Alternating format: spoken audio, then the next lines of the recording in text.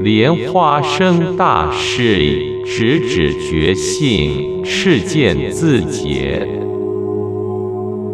一书名：身法寂静愤怒尊密意自解，中之直指觉性，赤见自解。二敬礼顶礼觉性，自名三身尊。三述义：我将开示身法寂静愤怒尊密意自解，中之直指觉性，赤裸现见，自行解脱。如是直指自己觉性之法，有缘善男子应善自领悟。三昧也，加加加。四直指心性觉明现爱麻火其在一心之内，圆满包容了轮回与涅槃。他的本性无始即然，而你却不知道。明和觉从未有间断，而你却不认识。他处处皆无碍显现，而你却不了解。因此，为使你能了解心性的本面而做开示。三世诸佛讲说了八万四千无量法门，除了觉悟此性外，过此说者，佛未曾说。经典遍满虚空，不可计量。究竟教诲只有直指觉性三句话。此限量直指诸佛之密意，既无前行，也无后修，导入之法，即此而已。五一心皆哈，有缘弟子且谛听。所谓心者，颇为广泛传播而生响亮，但对此性不了解或邪解和了解片面。由于未能正确如实了解之故，遂产生了无量的宗派之学说。而一般平庸士夫未悟此性，对自己的本面自己不知道，故不断流转于三界六道而受苦。他们皆因不悟自心本性而成过。烦恼的声闻独觉，只了悟无我的一面，虽欲求正悟而不能如实得悟。其他因受各自宗派和理论束缚，不能见到新的光明。烦恼声闻独觉执着能所而成障碍，中观执着二谛边见成为障，下三瑜伽执着观想念诵成为障，摩诃阿鲁执着戒觉成为障。于无二一分之为二而治物，若二不能融合为一，不能成佛，因为皆是一心。轮涅本来无分别，若去断离取舍，仍流转于轮回。因此现将所做法事一起放下。只是你一切精华，及此赤见觉性自行解脱之法。当你悟到一切法本自大解脱，则知大圆满是缘具一切。三昧也，加加加。六名相称之为心者，就是那明明了了。说存在，它却没有一法存在；说根源，它却是轮回苦与涅盘乐重重升起之根源。由于对它的见解不同，时有十一圣门。从名相讲，它有无穷的名称。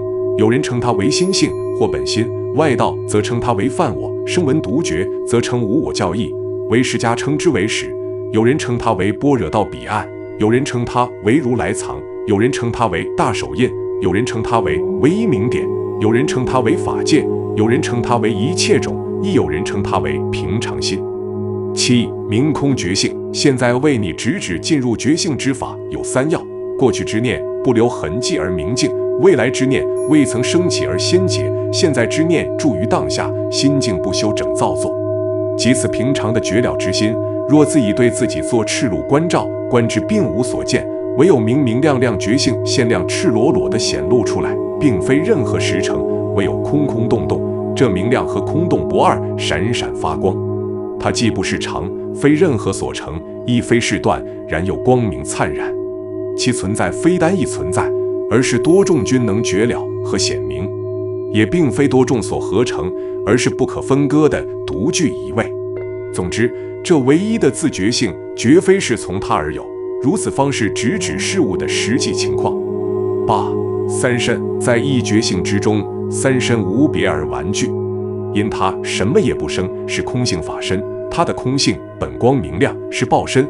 因他能无碍显现一切，是化身；三身是源具于一心中之体性。九本来心性，今当用强制直指之法引入此性。你的当下觉性原本就是如此，它是那不造作而自明，怎么能说你不了解心性？对此觉性本来无可修持，你怎么能说修持莫有成就？既然你的本觉现良就是这一念，你怎么能说你找不到自己的心？就是那个觉明，本无间断。你怎么能说未见心之本面？心之思维者，原本就是他。你怎么能说找不到那个动念者？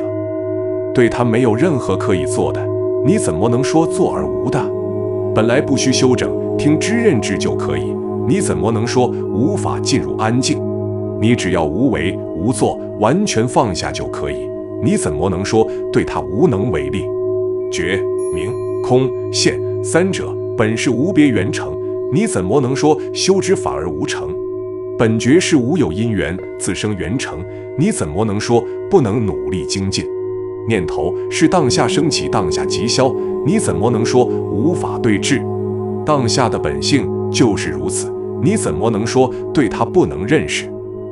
十心性欲，心性真的是空寂无根，自心无实，犹如太虚空洞，似与不似。不妨观察你自心，不是空性断离之见，那自然智慧真的从本即是光明，自然智慧本身如同太阳的核心，似与不似。不妨观察一下自心，觉性智慧真的相续不断，相续不断，好像江河流水不停，似与不似。不妨观察一下自心，歌中念动真的不可认知，妄念无时，好像空中微风，难以捉摸，似与不似。不妨观察一下自心，外境所现真的就是自现，外境自现，好像镜中反映影像，似与不似。不妨观察一下自心，一切有相。真的都是自行解脱，自起自消，好像空中云彩，似与不似。不妨观察一下自心。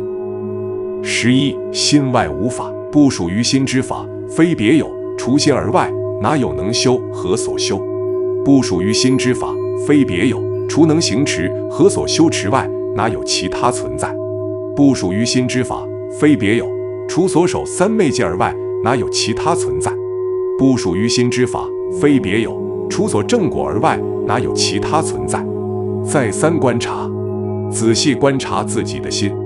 十二性光，当你外观虚空时，而性这时已无妄念启动之残余；你又在观自心时，亦无妄念启动之启动者。那么无染的心性清净而光明，这就是你的本觉光明空寂之法身，好似无云晴空升起的太阳，虽无形象，却能明确的知道。对于此一物与不物差别极大。十三自生，从本未生，而是自生之光明，这是觉性的婴儿，可是却无父母，真稀奇。这觉性谁也未造，而是自生智慧，真稀奇。它既无生，也无有而灭，真稀奇。它既现亮而明在，却无人能见，真稀奇。纵然流于轮回，也不变坏，真稀奇。纵然成佛也不增好，真稀奇。它是大家都有，却无人知道，真稀奇。你还遗忘在他处的果，真稀奇。他就是你自己，去别处寻找，真稀奇。十四见修定行果爱马火，这个当下的本觉明朗而无实质，仅此即是无上的知见。它是无缘的包容一切，而是又离一切，仅此即是无上的观修。它无造作，是世间放任无拘，仅此即是无上的行持。它是不求，而从本即是圆成，仅此即是无上的正果。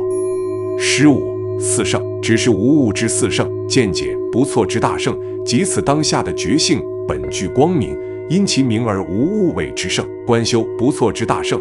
即此当下的觉性本具光明，因其明而无物谓之圣；行持不错之大圣，即此当下的本质本具光明，因其明而无物谓之圣；果位不错之大圣，即此当下之心本具光明，因其明而无物谓之圣。十六四丁，经开示不变异之四丁，所谓见地不变之大丁，即此当下的决心明亮，三世不易，故为之丁；所谓见修不变异之大丁。即此当下的决心明亮，三世不易，故为之丁。所谓行持不变之大丁，即此当下的决心明亮，三世不易，故为之丁。所谓果位不变之大丁，即此当下的决心明亮，三世不易，故为之丁。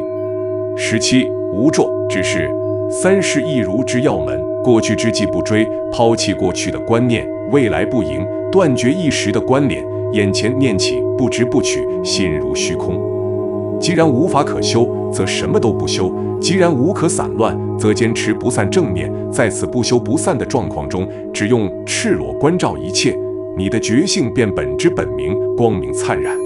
当它升起时，则成为菩提心觉性；因无所修，则超越一切所知境；因无所散，他的本体澄澈光明，现空是本自解脱，明空是为法身。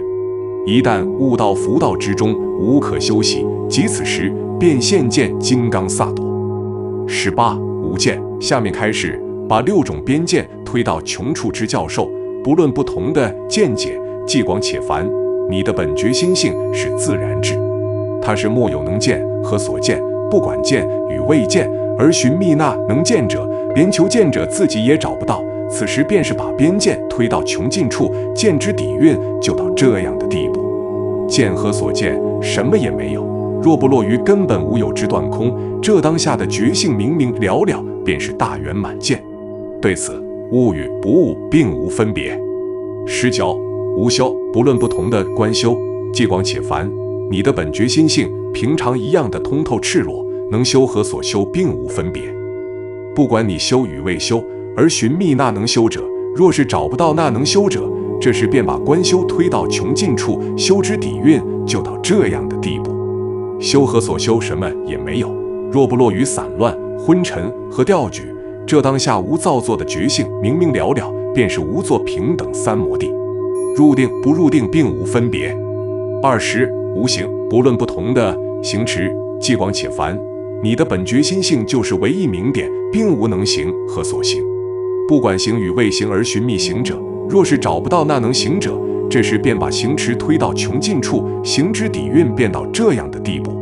从本以来就无能行所行，若不落于迷乱的习气，当下之心无造作，明明了了，切勿去做修整和取舍，这样便是清净行持。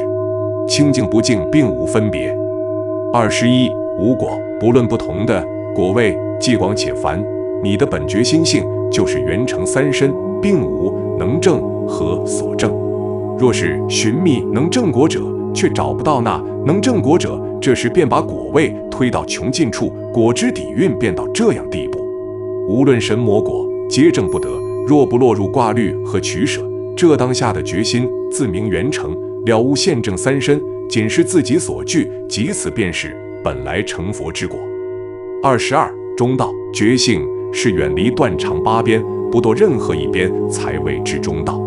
觉性就是那觉念恒常不断，空性乃觉性之核心，是故则称之为如来藏。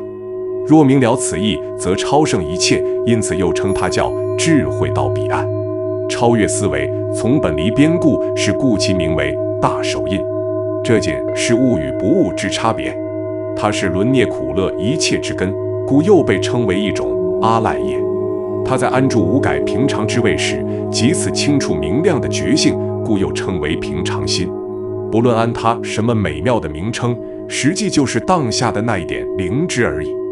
二十三物外求，除此以外，还有什么更好的可以追求？比如像在家中而外出追踪，即找到三千大千世界之顶。亦无可得，除心而外，再无别佛可求。若不认识心而向外持求，如身外去找自己，怎能找到自己？好比一个傻子进到一大群人中，为热闹的场面所惑而忘失自己。由于不认识自己而去他处寻找，误认别人是他自己。同样，如果不知万物的本性，不知外境原来是心，而仍误入轮回，不见自心是佛，则障涅槃。所谓轮回与涅槃，全凭觉明与无明，就在刹那一念，二者并无分别。若还以为存在于心外，是迷雾。迷与不迷之体，都是一个一切有情的相续心，并无有二，不需修治，自然放下即可解脱。若不觉悟这迷雾之性出自自心，你便永远不能了悟法性实际。二十四空欲，自己应当觉照自己，那自起自生者。这些镜像起初从何生，终住何处，最后归何处？若加观察，如井中的鸦影，乌鸦从井飞去，除井外再无其他。同理，镜像表象皆是由心所生，即从心生起，又由心中而散失。唯此心性是尽之尽觉，空而且明，从本就是明空无别，犹如虚空。自然智慧限量的光明中确定一切，这便是他的法性。现有一切是他的表象，然而他又是君在心中觉知，因此悟到这个心性是觉而灵明，犹如虚空。